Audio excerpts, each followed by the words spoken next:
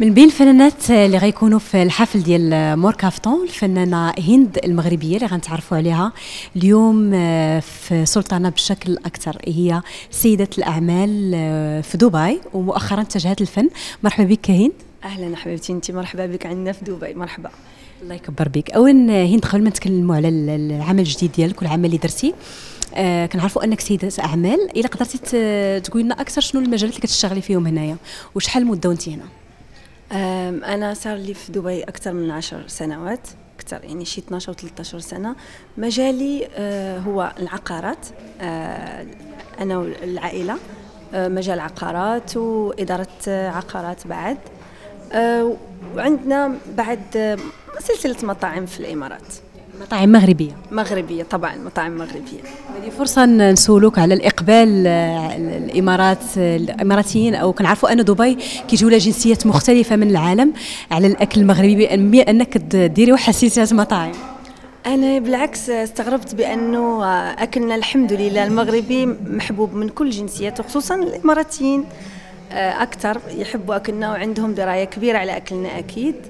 المغربي والحمد لله الحمد لله أكلنا أكيد طبعا إحنا أصلا ثاني آه، مطبخ مغربي موجود على صعيد آه، العالم. ثاني أحسن مطبخ في العالم. فهذا أكيد آه، لقينا إنه الجنسيات الثانية العربية تعرف أكثر منا في أكلنا المغربي. ما شاء الله كتقولي 12 سنة وانت كتشتغلي في هذا المجال ولكن كيبين آه، آه، سنك صغير آه، هندي. يعني كتباني لي باقا صغيرة. يعني بديتي بكري بديتي ربما يعني في سن صغيرة؟ جيت مع أهلي لدبي في سن كان صغير مش صغير كثير يعني إنه لكن من عمري 15 سنة وأنا ابتديت شوي أتجه للتجارة. إيه بحب هذا المجال كثير مع عائلتي طبعا وبعدين تخصصت لحالي. يعني إنه شغلي الخاص اللي هو العقارات أنا متخصصة فيه أكثر شيء. وكيفاش؟ في نفس الوقت آه، طبعا من صغري كنت بحب شيء اسمه الغنى. هواية طبعا بحب كثير هالمجال. وبحكم إني انشغلت في شغل نسيت نفسي. آه، هلأ قلت لا خلاص لازم آه، أبتدي في المجال الفني بحكم حبي للفن كثير آه، وكيفاش جا هذا القرار؟ يعني كما قلتي لنا انت عندك الموهبة ولكن كيفاش جا قرار صافي أني خاصني نبدأ؟ يعني واش كان تشجيع من شي حد ولا منك راسك تسنيتي الوقت المناسب؟ آه، مش هو الفكرة عمرها ما زالت من عقلي. دايما كنفكر في هذا الموضوع. كيف ما قلت لك غير الشغل اللي أخذني. لقيت تشجيع من صديقاتي من أهلي من كل شيء قالوا لي ليش ما نعمل شيء أغنية؟ يعني هيك تبتدي بأي أغنية هيك رومانسية بالستايل اللي أنا بحبه. آه، حتى لو هتشوفي الأغنية عملته إنه ستايل رومانسي كتير وهيك وهذا هو الشكل اللي أنا بحب كتير اللي قلبي يميل ليه كتير.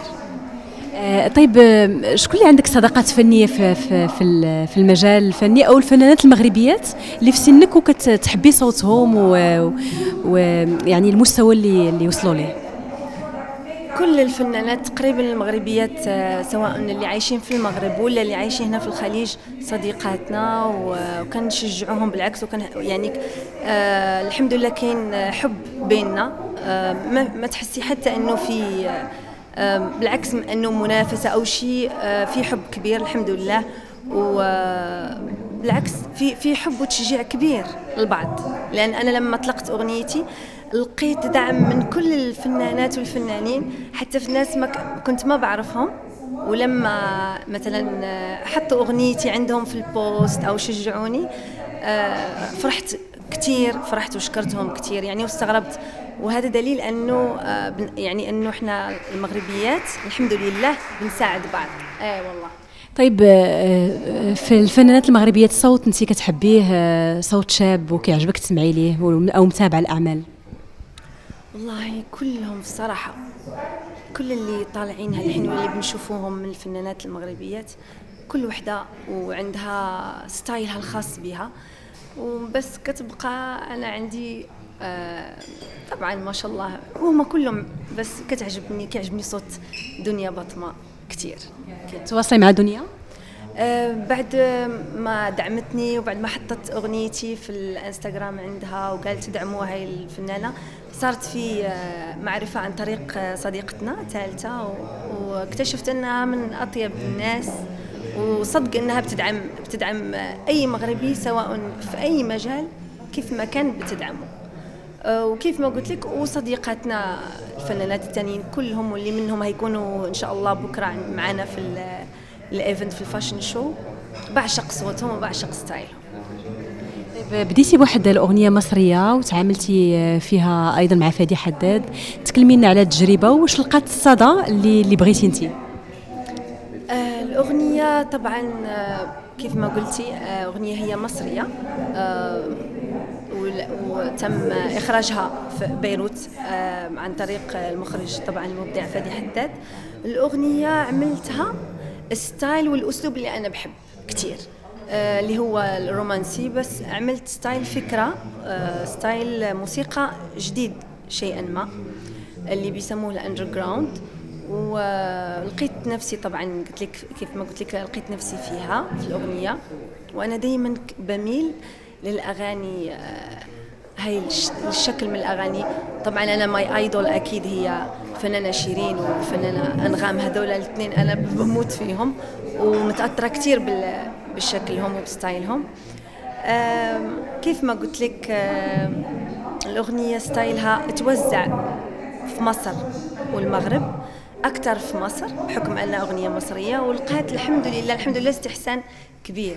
من آه، الجمهور المصري ومن المغربي الحمد لله الناس كتواصل معايا يوميا وحتى أنا يعني الحمد لله فرحانة. ما كنت متوقعة إنه الناس آه، هت آه، تعجبها الاغنيه وتتواصل معايا بهالطريقة الحمد لله وهذا خلاني وشجعني إن شاء الله إنه ندير أغاني ثانية بإذن الله. كتحضري الأغنية مغربية قريبا. بغينا نعرفوا معلومات عليها ومع من تعاملتي فيها وإمتى غتصدريها. ولا بغيتي على سلطانة تعطينا أكابيلا يعني مقطع قصير حصريا على سلطانة. الأغنية المفروض بنجهز لها. يعني واصلة لأنه توزيع إن شاء الله و mastering. أغنية بيكون الفكرة إنه إن شاء الله هيكون فكرة جديدة شوي شيئا ما. هيكون هتكون أغنية مغربية بس هيكون في duetto duetto مع فنان من الخليج. ما غنقدرش نعلن على اسمه لحد ما كل شيء يتأكد 100% لا مش single هتكون أغنية إن شاء الله مغربية لكن بصوتي وصوت آه، آه، يعني فنان من الخليج آه، شاب من الخليج و يعني هذا المفروض هلا يعني وعلى أساس هننزلها امم امم والله. هي الأغنية ال beat بيكون هو beat سريع هيكون. شبابية كتير الأغنية style جديد. وفرحانة كتير لهالتجربة كتير كتير الأغنية عجباني كتير. لكن كان أنني نطلع شوي منها يعني لسه شوي بعيد للشهر الجاي إن شاء الله ولا لأنه المفروض تنزل على شهر واحد بإذن الله في راس السنة بعد راس السنة إلى بغى الله. آه بعدنا ما استقريناش بعدنا بعدنا ما استقرش على الاسم. إحنا حايرين في كثير أشياء في الأغنية أنا كيف ما قلت لك.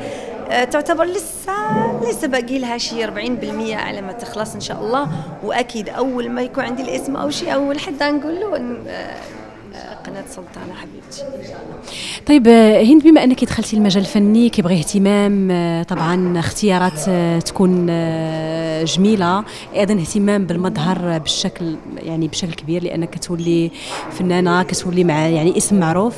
يعني أنت في بلد طبعا اللي متقدمة. نبغيو نعرفوا هند الاهتمام ديالك بالشكل ديالك أنت مع اوضه جميل فين عملتي عمليه جميل. يعني واش إنسانة متصالحة مع نفسها وتقدر تقول لنا؟ آه، أكيد آه، لازم أي بنت سواء حتى لو كانت آه، سيدة عادية مش في الأضواء ولا لازم أكيد تهتم بنفسها. فما بالك إذا إحنا اللي بنبان للناس والأكيد لازم نكون دايما على أحسن في أحسن مظهر أكيد.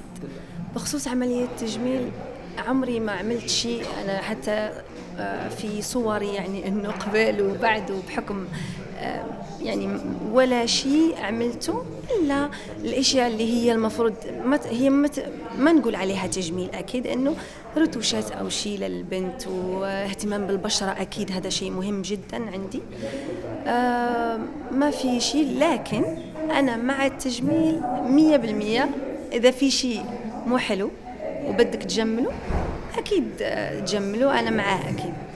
إن شاء الله. اذا بتوفيق لك هند وطبعا خير كلمه للمتابعين ديالك من خلال قناة سلطان. أه كنحب نشكر كل متابعيني عبر قناة سلطانة وكنبغي نقول لحبايبي آه، شكرا لكم شكرا لدعمكم وكل شيء كيوصلني الحمد لله. وترقبوني إن شاء الله في أغنية مغربية بإذن الله ونتمنى أنها تنال إعجابكم يا كريم. قبل ما تخرجوا ما تنسوش تابوناو في la chaîne YouTube و partager يو الفيديو مع أصحابكم في مواقع التواصل الاجتماعي. وما تنسوش ديروا j'aime.